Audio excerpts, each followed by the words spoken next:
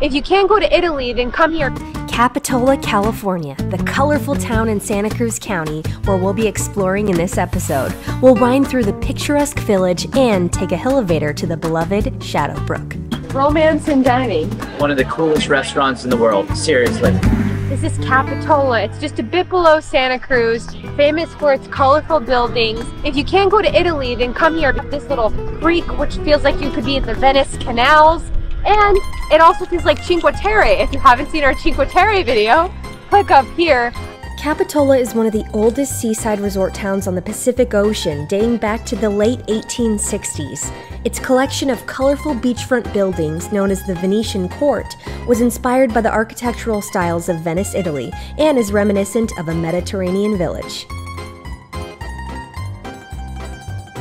They have these windy streets and vacation rentals, which are the, the classic Capitola look. They're all colorful and cute, and they all come down here to the beach. There was a huge storm here in January, and it destroyed, it took over the entire town, completely wrecked the businesses and uh, the dock over there. Looking at it, the almost 900 foot long wharf seems ripped in half. The country is here for you and with you.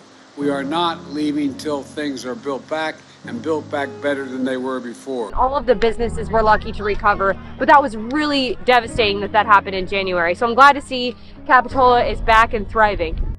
Business owners have had a tough time recovering here, but plans are currently underway to rebuild and enhance the Capitola Wharf, and it's said to be done in summer 2024.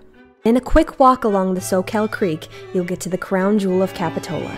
This is the Shadowbrook restaurant, probably one of my favorite restaurants in the world. My parents have been taking me here for many years. It's known for its famous romance dining since 1947, and you can take a trolley all the way down to the restaurant. It's pretty amazing, so let's go check it out.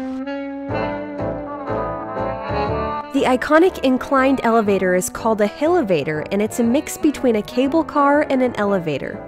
It rides on a track and uses a heavy counterweight and cable to move passengers to and from the restaurant.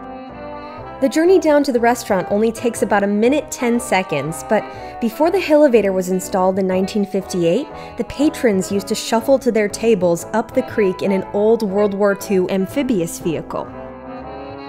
The Shadowbrook was originally built as a summer home in the 1920s, but was later transformed into a restaurant by the Getchell family, who were inspired by the beauty of its nestled creekside location and saw its potential for a unique dining experience.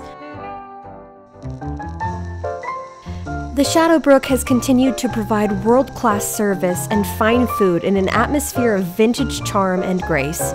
With so many rooms to dine in, you'll be sure to never have the same experience here twice.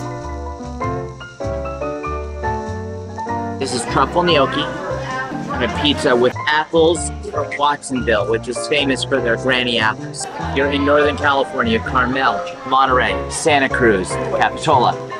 Make a trip out of it to come to Shadowbrook.